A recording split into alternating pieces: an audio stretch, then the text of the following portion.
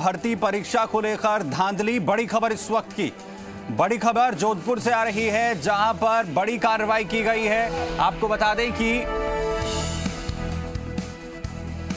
पाँच लोगों को हिरासत में ले लिया गया है। पेपर बेचते हुए पाँच लोगों को हिरासत में लिया गया है। आरोपियों के पास से दो लाख रुपए भी बरामद हुए हैं। चौपासनी हाउसिंग बोर्ड, सीएचबी थाना पुलिस की तरफ़ से कार्रवाई जारी है और कुछ ही देर में पुलिस मामले में खुलासा करेगी। but